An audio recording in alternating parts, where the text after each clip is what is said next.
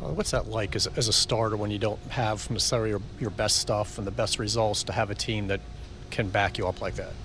I mean, it feels really good. Honestly, you know, there's so much confidence I have in our lineup and in our team to be able to make plays behind me, uh, to get it done at the plate, and um, you know, I, I, was just happy at the fact that they were able to come back there because I really felt like whenever I came out of the game, I didn't give them much of a chance to, you know, come back. And I think that that's speaking uh, volumes uh, about our team with the ability to always come back in a game and we're never out of it. Where does that come from? That ability.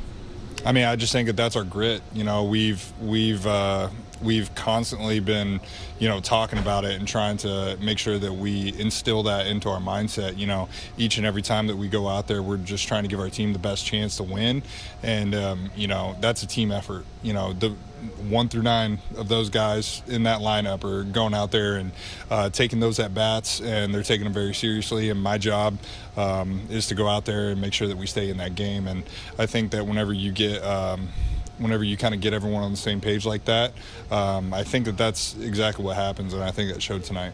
How much fun was it just to sit there and watch that seventh inning?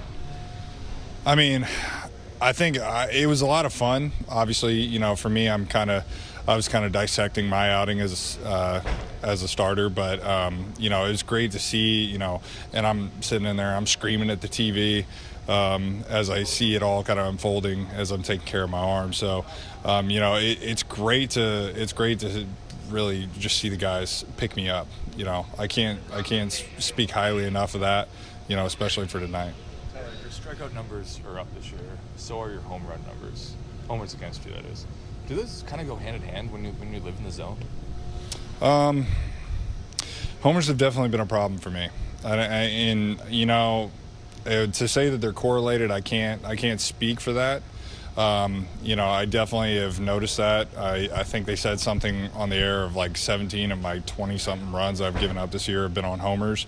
Um, you know, and that's something that I think that we will continue to address. I think uh, tonight it was honestly just poor execution, leaving pitches down the middle in the big leagues against a team like that, uh, full of insanely respectable hitters.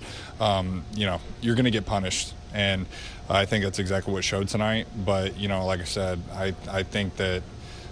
I'm going to continue to go out there and try and improve myself, and you know I'm going to take that time in between this next start um, and just really work on that, making sure that I can better myself and learn from it.